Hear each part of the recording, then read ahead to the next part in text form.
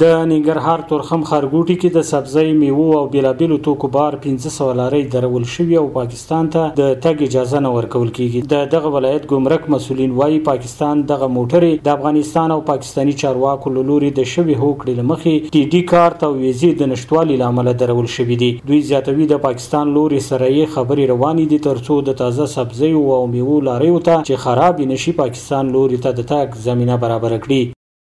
پنځه سوه موټر به ولاړي چې هغه ټي ډي کارت نه لري په مالونو باندې بار دي په دې کې سوزیم سته په دې کې معدني مواد هم سته دا خبر مو سره کړې ده چې کوم موټر اوس تیار ولاړ دي بار دي هغه خو د خالي کېدو امکانات که چیرې وي محدود به هغه خرابېږي هغه اکثریت چې دي سره الفساد مالونه دي نو که چیرې دغه موټرو ته په هغه پخواني رقم باندې اجازه ورکول سي نو دوی هم دا خبر کړې ده چې موږ به د لوړ مقاماتو نه حال واخلو که چیرې هغه اجازه راکړه بیا به انشاءالله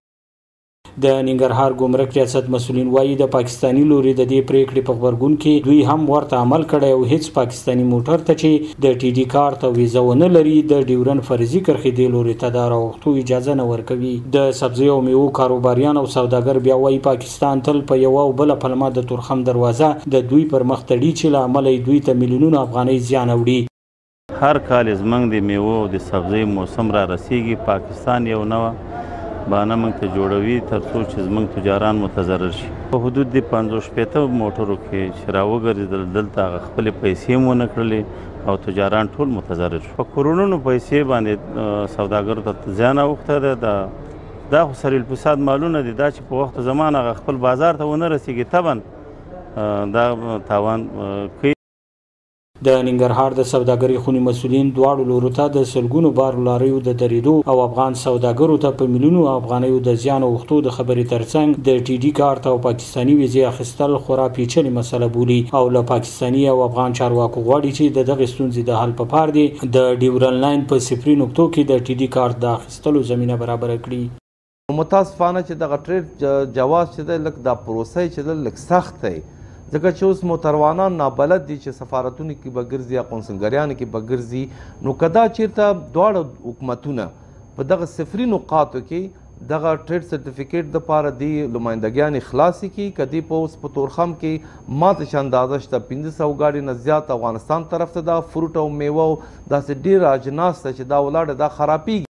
د ننګرهار ګمرک رئیس بیا د سوداګریزو موټرو څښتنانو ته دغې هوکړې ته د درناوي په موخه د ټي ډي کارت د اخیستلو سپارښتنه کوي او د ستونزو څخه د خلاصون په موخه یې غوره لار یادوي. پاسپورټي ټولو شرکتو ته متمخ حال ورکړی دی چې تاسو کوشش وکړئ پاسپورت ته ویزا که پاسپورت ته ویزا نه شئ کولای نو دغه ټي ډي کارت چې دی دا دوی لپاره یو بهترین شی دی چې دوی کولای شي د پاکستان هرې نقطې ته په هغه باندې ولاړ شي نو دغه ټي ډي کارت د ځان لپاره واخلي تر څو د خلکو مشکلات هم حل